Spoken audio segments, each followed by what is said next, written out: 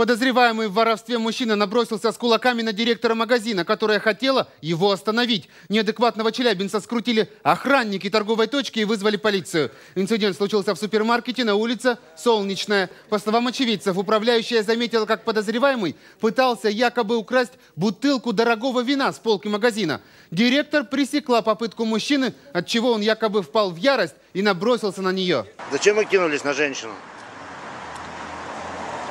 Вы наркотики употребляли?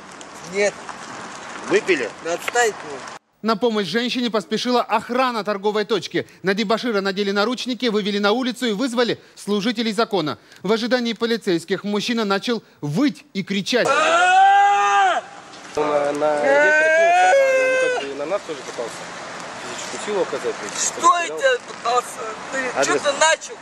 Также, говорят очевидцы, подозреваемый зачем-то разбил свой смартфон о землю. На предполагаемого преступника директор супермаркета написала заявление в правоохранительные органы. Не исключено, что мужчина был пьян или находился под кайфом.